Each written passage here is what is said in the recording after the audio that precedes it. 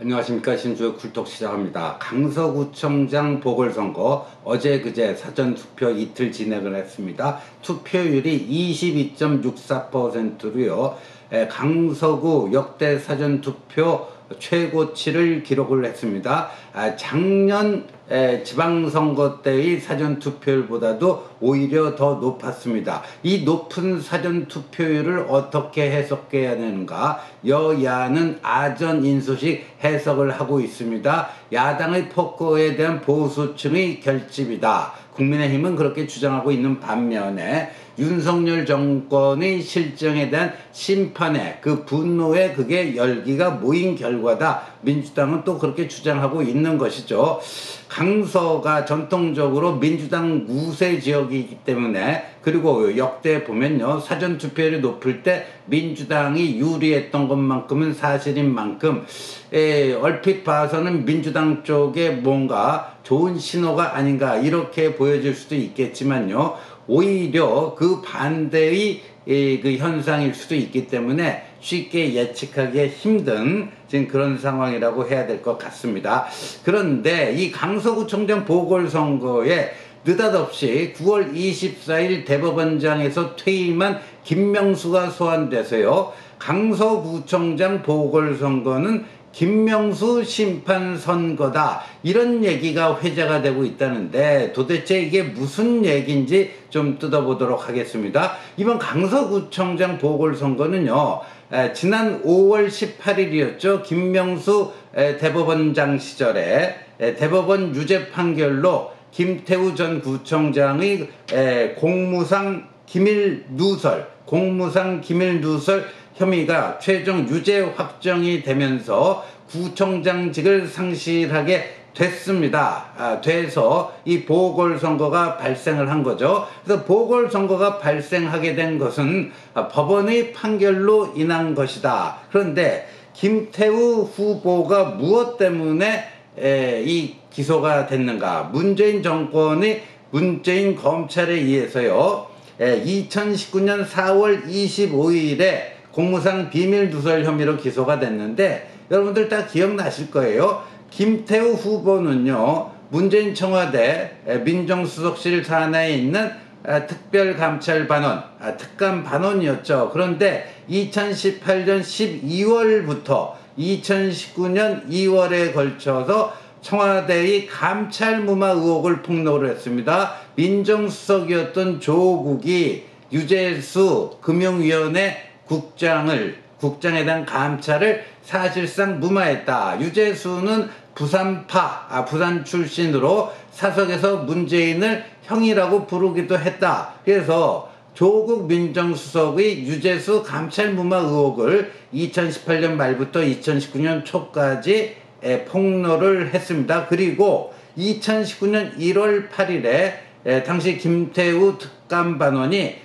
권익위에 국민권익위에 조국과 백원호 등을 부패 혐의자로 신고를 했습니다. 그랬더니 문재인 청와대가 발끈했습니다. 당시 청와대 대변인이 누구냐? 아, 지금 입만 열면은 가짜 뉴스 떠버리는 흑석거사 김의겸이었습니다. 당시 김의겸 문재인 청와대 대변인이 문재인 정부의 유전자에는 애초 민간인 사찰이 존재하지 않는다. 이런 얘기를 했는데 김태우 당시 특감반원요. 환경부 블랙리스트 이것도 폭로를 했죠. 그러니까 그러면서 그때 민간인 사찰 의혹도 제기를 했는데 거기에 대해서 김의겸 문재인 청와대 대변인이 문재인 정부 유전자의 민간인 사찰 이런 거는 아예 존재조차 하지 않는다 아주 허무맹랑한 발언을 했고요 당시 문재인 청와대 비서실장이었던 임종석이 김태우를 공부, 공무상 비밀 누설 혐의로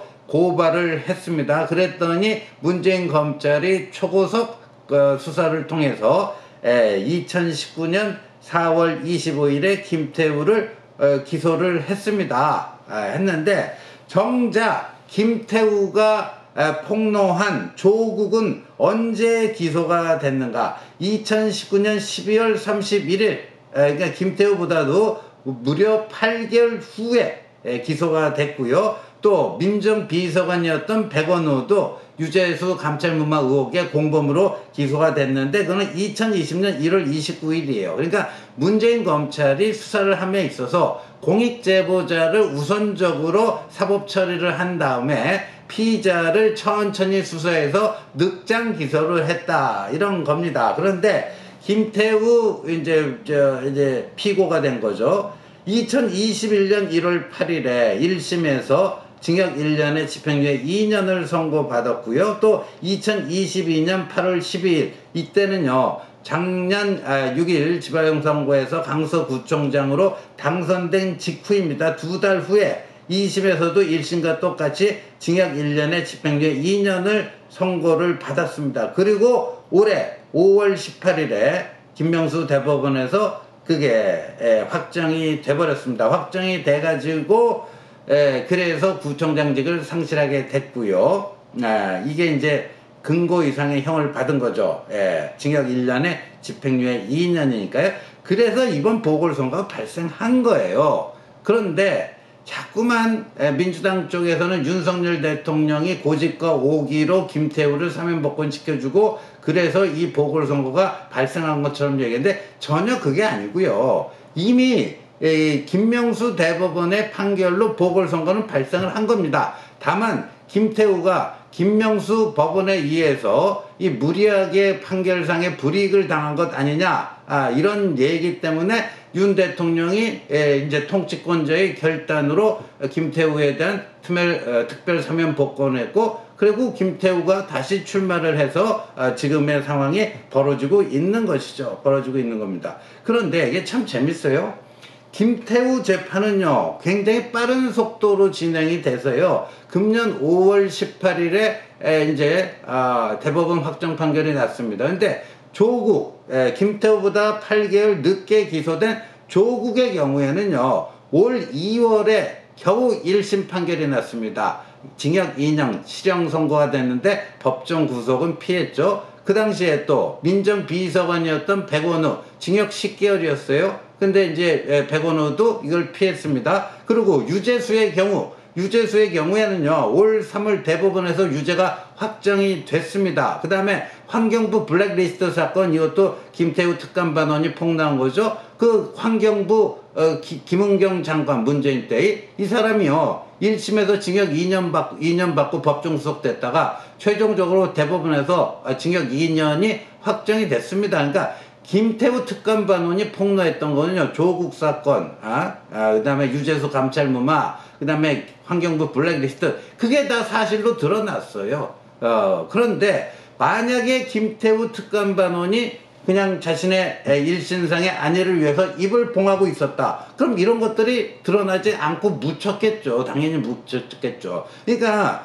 김태우, 김태우는요, 문재인 시절의 국민권익위에서조차도 공익제보자로 인정을 해준 사람입니다. 그러니까 공익제보를 했는데 에, 김명수 법원에서 어, 이게 유죄 판결 받아갖고 에, 국민들 에, 구민들의 선택으로 음, 에, 그 앉게 된 구청장 자리마저도 박탈당하게 됐다. 이걸 도대체 어떻게 봐야 되느냐? 그럼 앞으로 공무원들은 그런 비리를 보고도 가만히 있는 게 상처가 아니냐? 이렇게 되는 거 아니겠습니까? 아, 일진상의 안일, 안일을 위해서는, 몸보신을 위해서는 괜히 뭐 본 거, 어, 못본척 해야지. 그거 그냥 양심에 따라서 떠들면은 김명수 법원 이런 데 만, 잘못 만나면 그냥 땅땅땅 유죄 판결 때려버린다. 뭐 이런 거 아니겠습니까? 그래서 에, 금년 5월 18일에 에, 유죄 판결이 확정된 다음에 에, 김태우 당시 구청장이 그렇게 얘기를 했어요. 문재인 검찰이 기소하고 김명수 법원이 에, 이 판결을 내린 건데 그래서 내가 이렇게 되는 것이다. 이게 사건의 본질이다. 이게 사건의 본질이다. 이렇게 얘기를 했습니다. 근데 이게 재판도요, 형평성이 있어야 되는데, 이 대법원에서 김태우 유죄 판결을 확정 지은 박정화 대법관, 이 박정화 대법관이 어떤 사람이냐면요, 김명수가 만든 그 좌파 판사 모임인 우리법 연구회 출신입니다. 우리법 연구회 출신. 2017년 6월에 문재인 정권 출범하면서 처음으로 임명된 대법관 코드 인사 대법관 우리법 연구회 출신입니다. 그런데요.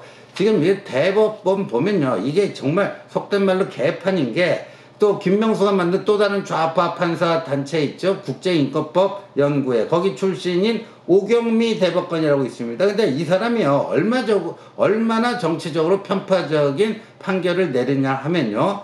국민의힘의 김선교 의원 선거사무소 회계 담당자가요. 한 천만 원 정도 정치자금법 위반 혐의가 있다. 이거는요. 대법원에 회부가 된 지 대법원의 사건이 올라온 지 3개월 만에 확정 판결을 내렸거든요. 3개월 만에. 그래서 국민의힘 김성교 의원이 배지가 떨어졌습니다. 근데 최강욱의 경우에는요. 작년 6월에 이 사건이 오경미 그쪽으로 올라와 있는데 이거 지난달에서야 겨, 겨, 겨우 1년 3개월 만에 에, 그 판결을 내린 거 아닙니까? 그것도 나중에 뭐 전원 합의체로 뭐 회부돼가지고 어쩌고저쩌고 어, 김명수 퇴임 직전에 이게 된 거 아닙니까? 그러니까 이렇게 달라요.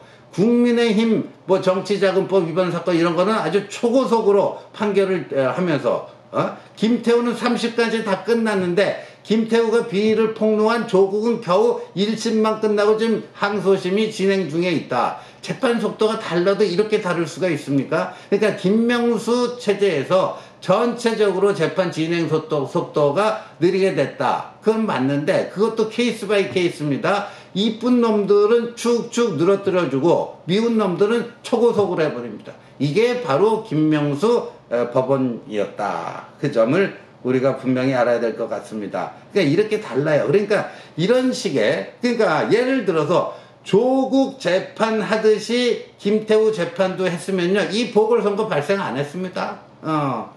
지금 저 조국 정도로 1심 정도 유죄 판결 받았더라도요, 예, 지금 뭐 2심 항소심이 진행 중일 것이고요. 어찌 보면요, 윤미향이 예, 윤미향이 거의 지금 예, 임기를 거의 다 채우는 거 아닙니까? 위안부 할머니들 그 후원금 삥 뜯어 먹었다 이거 가지고 지금 이제 2심까지 나왔죠. 어, 나머지 대법원 확정 판결이 지금 이제 예, 의원 임기가 한 7, 7개월 정도 남았는데 그 내에 나올지 안 나올지 뭐 직전에 나오더라도요. 윤미향은요. 윤미향의 재판 속도가 느리기 때문에 거의 국회의원 임기 다 채웁니다. 그러면 그런 식으로 하면 김태우 강서구청장의 경우에도 똑같았어야 되는 겁니다. 근데 여기는 빨리빨리 해버린 거예요. 빨리빨리 해버리고 또, 또 편파적으로 하고. 아, 그래서 이 보궐선거가 발생한 것이다. 그렇다면은 공익제보자를 이런 식으로 처벌하고 유죄 판결 때려버리는 것이 과연 이게 정의냐? 아, 정의의 최후의 보루여야 될 법원이 이렇게 하는 것이 과연 올바른 판단이었던가 그거를 묻는 선거다. 그래서 어제 동아일보 김순덕 대기자도 비슷한 취지의 칼럼을 썼습니다만 저도 이런 의견 아, 상당히 일리가 있어요. 물론 이제 강서 구민 입장에서 보면 어, 이게 뭐 우리의 그 강서구의 삶의 질이라든가 뭐 여러 가지 그런 것들이 최우선 관심사가 되겠습니다만 도대체 이 보궐선거가 왜 발생했는가? 김태우는 공익 제보한 거 말고는 없어요. 근데 김태우에게 빠른 속도로 유죄 판결을 내렸기 때문에 그 문재인 검찰이 예, 조국보다도 예, 한몇 개월이에요? 한 8개월 정도 일찍 기소를 했고 예? 예, 조국보다 8개월 정도 일찍 기소를 했고 김명수 재, 그 법원에서는 굉장히 빠른 속도로 또 확정 판결까지 진도를 뽑아버렸고 그래서 이게 보궐선거가 발생한 보궐선거 발생 원인은 김태우의 공익 제보에 있었던 것이 아니라 바로 문재인 검찰과 김명수 법원의 그런 편파적인 에, 행위에 있었다. 그렇다면은 그 판결, 아, 그게 옳은 것인가 하는 점에서 김명수를 심판하는 선거다. 이런 주장이 나오고 있는데 이게 이제 보수 쪽에서는 상당히 호응을 얻을 수 있는 그 주장이고요. 이제 다른 중도 무당층이나 이런데 이게 어떻게 어필을 하는가 아, 거기에 따라서 선거 결과도 일정한 판세에 영향을 미치지 않을까 생각이 듭니다. 시청해 주셔서 감사합니다.